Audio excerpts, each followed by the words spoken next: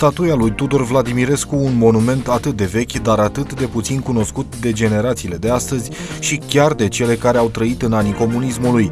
Astăzi aflați lucruri inedite despre această lucrare realizată nu în România, ci la mii de kilometri distanță de orașul în care se află și în prezent. Statuia conducătorului Revoluției de la 1821 a fost realizată la Milano și a fost prima amplasată în municipiul Târgu Jiu. Statuia se află și astăzi amplasată în centrul orașului Târgu Jiu, în parcul de vis-a-vis -vis de Colegiul Național Tudor Vladimirescu.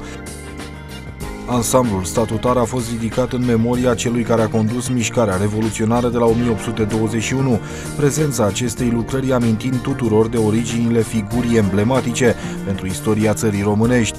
Statuia a apărut ca urmare a unei dezvoltări a orașului. La sfârșitul secolului al XIX-lea, orașul Târgu Jiu a cunoscut o dezvoltare edilitară ce a implicat construcția unor importante clădiri publice, sistematizarea străzilor, introducerea iluminatului stradal. În aceeași perioadă perioadă, orașul a fost pus în legătură directă cu cele mai importante centre urbane ale țării, odată cu extinderea rețelei naționale de căi ferate. Astfel, în iulie 1888 a fost inaugurată calea ferată Târgu Jiu, Târgu Cărbunești, Filiaș, ce asigură legătura cu orașul Craiova și implicit cu orașul București. În anul 1890 a fost construită clădirea Liceului Tudor Vladimirescu, situată în zona centrală a Târgu Jiului, în apropierea școlii primare de băieți. În fața clădirii liceului Tudor Vladimirescu avea să fie amplasată prima statuie din orașul Târgu Jiu, scria profesorul Gorjan Valentin Pătrașcu în urmă cu aproximativ patru ani. Materialul din care este realizată statuia este bronzul, ea fiind realizată de un sculptor gorjean Constantin Bălăcescu.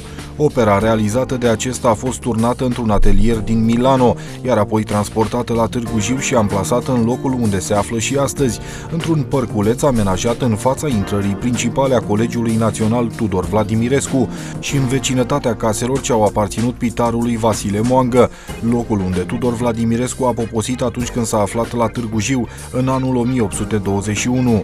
Statuia a fost inaugurată în anul 1898, an în care a început și construcția unui nou sediu al primăriei orașului Târgu Jiu.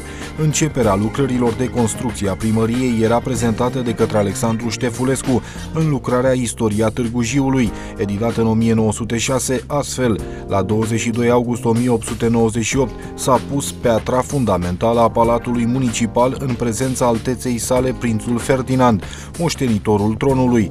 Tot în 1898 i s-a ridicat o statuie de bronz domnului Tudor, drept recunoștință pentru sacrificarea sa eroică pentru națiune, mai consemnează profesorul Valentin Pătrașcu într-un articol din primăvara anului 2011.